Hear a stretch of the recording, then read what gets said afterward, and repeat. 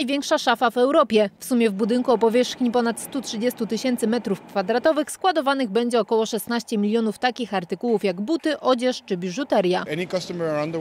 Każdy klient na świecie może wejść na naszą stronę i zamówić konkretne produkty. W naszym przypadku są to produkty związane z modą.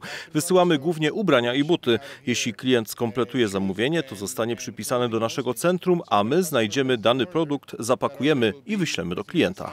Amazon poinformował właśnie, że rozwija inwestycje w Sosnowcu. Nowy budynek położony będzie w pobliżu obecnie działającego centrum logistyki. Pod koniec lipca bieżącego roku e, zamierzamy otworzyć budynek nieco mniejszy, bo 11 tysięcy metrów kwadratowych, który będzie e, wyposażony w technologię, bardzo nowoczesną technologię druku na żądanie. I będziemy na ubraniach drukować e, nadruki. Nowa inwestycja to także kolejne miejsca pracy. Aktualnie mówi się o 500 osobach. Przyszłych pracowników Amazon chce skusić obiadami za złotówkę, darmowym dowozem do pracy czy prywatną opieką zdrowotną.